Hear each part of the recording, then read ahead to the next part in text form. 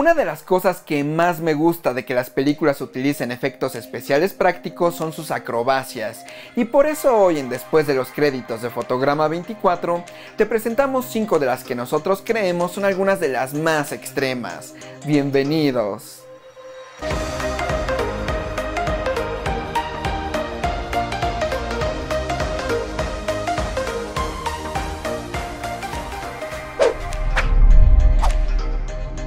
Mission Impossible Ghost Protocol.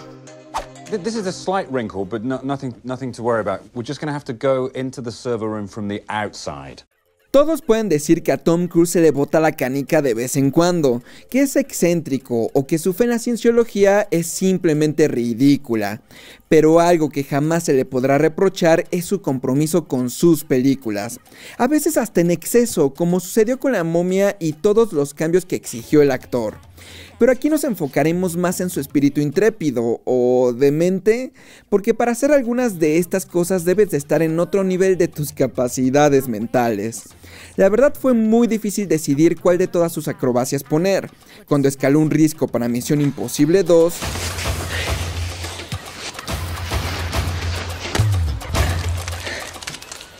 la persecución en carro de Jack Reacher, o estar en el exterior de un avión mientras despegaba.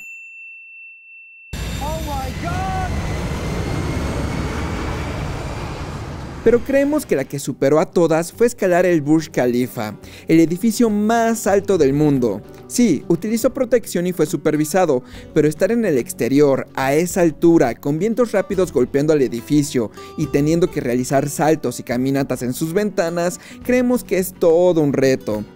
Uno de los pináculos de la estupidez, perdón, valentía humana.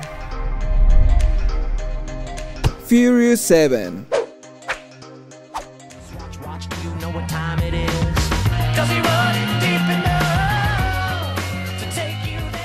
La franquicia protagonizada por Vin Diesel siempre se ha caracterizado por algunas acrobacias extremas, más en la época de los efectos prácticos.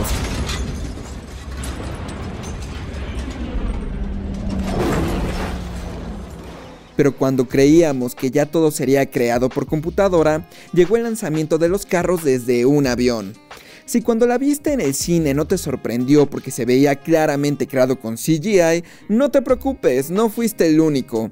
Yo tampoco me lo imaginé, fue cuando vi el detrás de cámaras que quedé sorprendido. Toda la logística que implicó crear esta secuencia es impresionante, seguramente uno de los últimos vestigios de una franquicia que solía hacer más cosas de manera práctica. Digo, antes también exageraban un poco con sus pantallas verdes, pero al menos nos daban cosas como esta.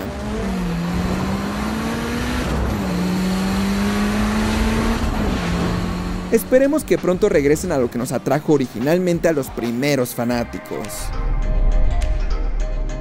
The Dark Knight Rises.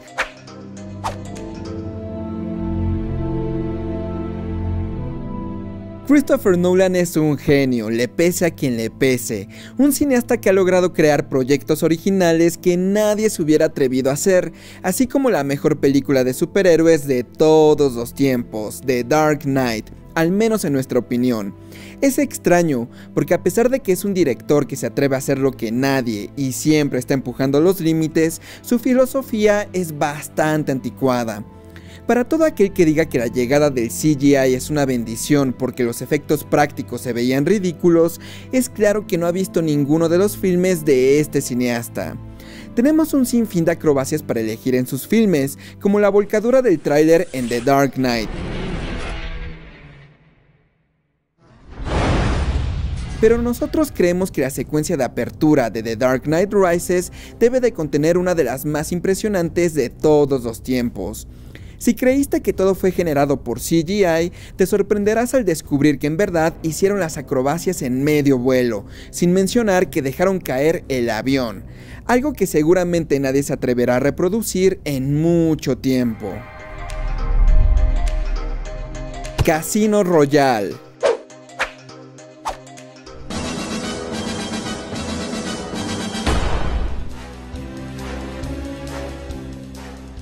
Durante la historia de esta franquicia hay un sinnúmero de películas, pero de igual manera un sinfín de acrobacias. Y no hablamos de surf de otro día para morir. Qué pena, en serio. Hablamos de cosas como el salto desde una presa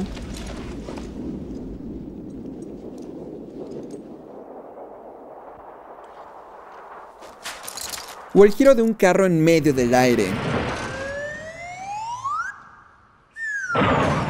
Todas estas siempre nos dejarán con la boca abierta, pero estar a varios metros de altura sin protección y realizar cosas como esta merece tener un lugar en esta lista.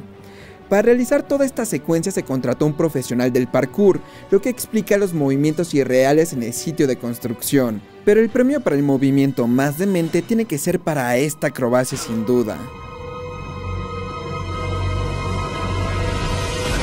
Seguramente esas rodillas le dolerán cuando sea viejito.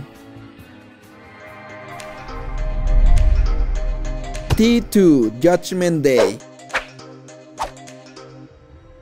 Hemos hablado de lo increíble que es Terminator 2 y todos los avances tecnológicos que aportó al cine, pero a pesar de empujar los límites de los gráficos por computadora, James Cameron no quiso depender de ello para contar una gran historia. Secuencias como las de esta cinta hace que me pregunte por qué ya no vemos cosas así. Digo, en aquella época estaba la limitante del poder de cómputo, pero aún así esto se ve mejor que esto otro. En fin, este filme hizo algunas de las secuencias más impresionantes y obligó, literalmente obligó, a su equipo a tomar demasiados riesgos. Estoy hablando del helicóptero pasando por abajo de un puente.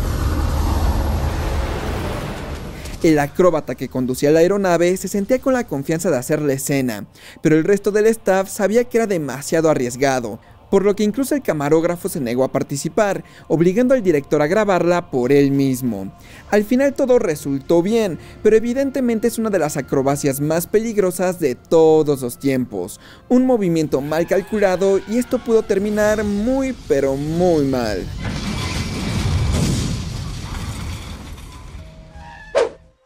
Para más listas como esta y todo acerca del mundo del cine, suscríbete a Fotograma24 y síguenos en redes sociales. Coméntanos qué otras acrobacias te sorprendieron.